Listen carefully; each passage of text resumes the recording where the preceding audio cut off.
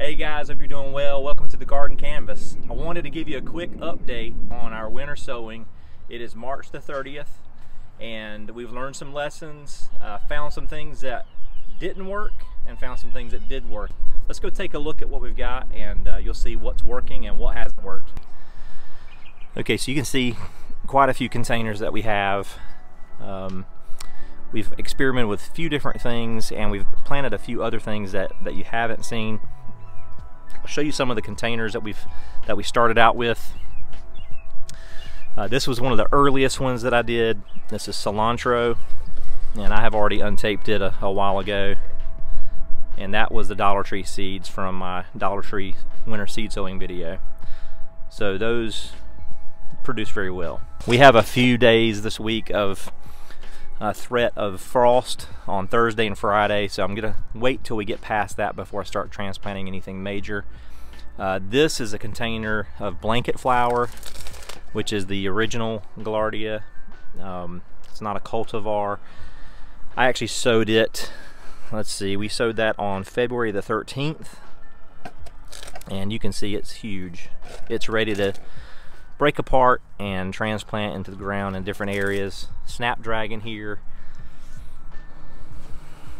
Uh, this is a dwarf Shasta daisy. And I haven't opened that container yet, but that's getting quite full. Uh, this is a mixed coreopsis, dwarf coreopsis. Since then, I've also planted, this was on March the 5th, big blue salvia and that's doing quite well.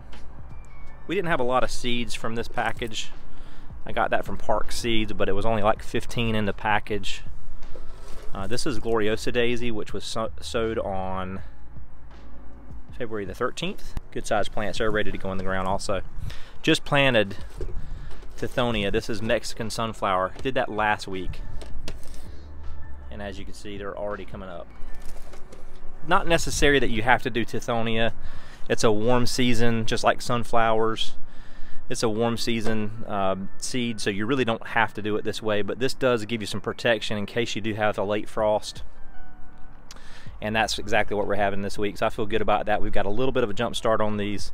It's another container of Mexican sunflower and that was that was done about a week prior to the other container. This is another thing that I've done as you can see, I've, I've taken a hole puncher and I punched a hole on both sides and then just used some wire so that I can tie these back up on a night we might get a little cold. But really good results all together. This is Shasta Daisy. We also have some Cupid's Dart here. It's done well. Some more Dwarf Coreopsis.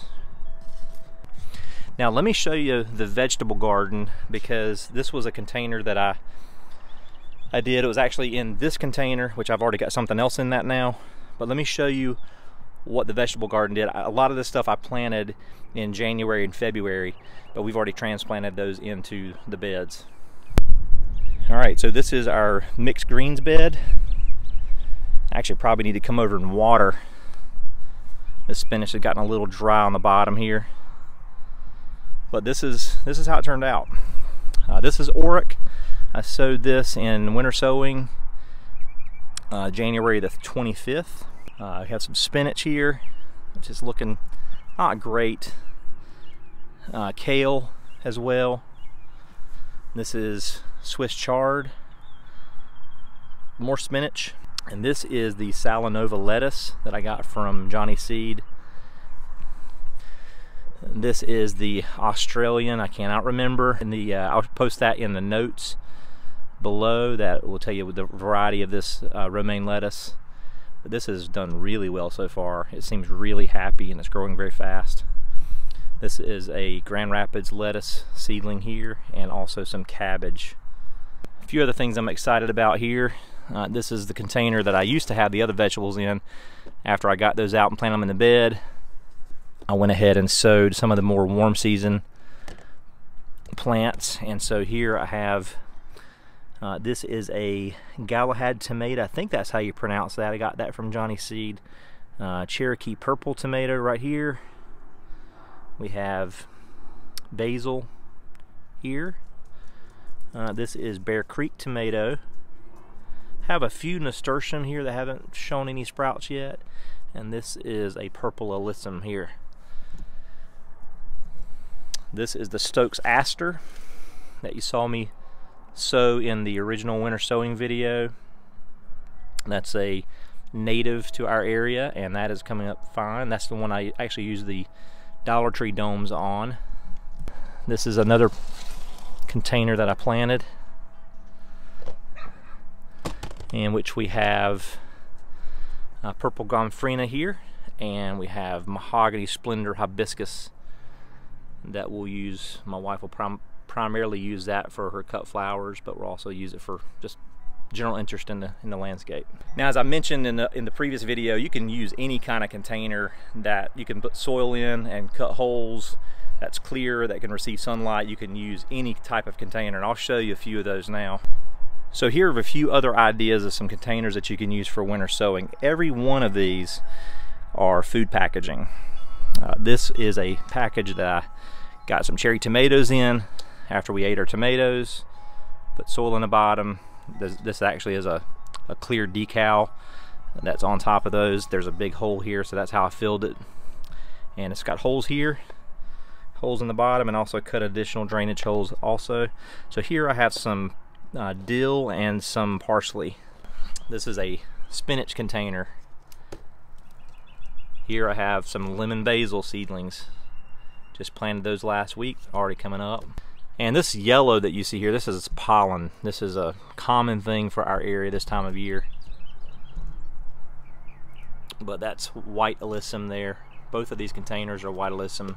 Just sowed it last week. Uh, this is from the original winter sowing video. This is cardinal flower. If you remember the tiny, tiny seeds.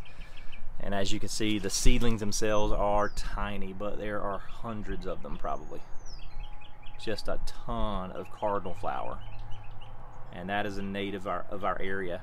This is an interesting one. This is the clear egg crates and I'm going to show you how they work. Basically I've got it upside down. That way I can use this by pulling this back I can bottom water this. So instead of using the top portion, I just make sure I have holes here and holes in the bottom section of the of the egg crate right here and I just cut holes in each one. That way if I want to put a little bit of water in the bottom of the tray here I can bottom water it instead of you know getting a, a lot of rainwater. But as you can see this is white alyssum.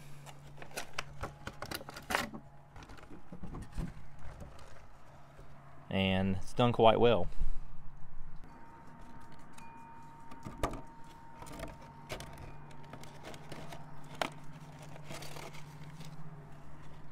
And as I said, this is one of the other containers I had of the butterfly milkweed. Uh, this is the Asclepias tuberosa. So we have a few more plants of our own. And in the meantime, I do want to show you a few other things that we've got going on in our garden. If you remember, this is the video I did, or this is the row of boxwoods I did the video on. And a few lessons I've learned from this is sometimes dogs do not know their boundaries. And so I've had a few issues with them running through and snapping a branch off. I'm just gonna get the clippers and prune those. That's happened a few times over the winter. So this is Baby Gem boxwood and it does bronze. Got a little bit of weeding to do here too. And then I think this is most likely my dog lifting his leg. And Unfortunately, I'll just have to clip that out, but it should bounce back on in the middle without any issues. So I don't know if you guys have dogs, but that does happen. And you, when you have dogs and a garden, uh, these Leucojum have just about finished their bloom cycle. And I did move recently these heuchera here, and as you can see, they're starting to bud now. So that's the first flower bud from these. Just transplanted these about two weeks ago. This is a pot that I stuck hardwood cuttings last fall uh, for dappled willow. So each one of these is a separate plant and I just need to divide them out and put them somewhere or give them away. But I love dappled, dappled willow. If you've got a wet spot in your yard, it's a huge shrub eventually, but it is a beauty in the spring. If you're not familiar with it, it this is this is not a flowering shrub at all. It does not flower. This is strictly the leaves. It's variegation that's white, pink, and some of the variegated leaves as well in the new growth. So it's a beautiful plant. And there's probably about 10 or 15 individual plants in here that I just stuck hardwood cuttings down in the potting soil of this pot and just kind of abused it. But very, very good shrub. Our daffodils have about finished. At least these two have. And this is another variety that came up a little bit later. Two other varieties. These boxwoods here I did add in addition to the original ones. This is from the original boxwood video. And I added this row to carry it around that Japanese maple. So a lot, a lot to do in the garden over the next few weeks, but we're super excited about it.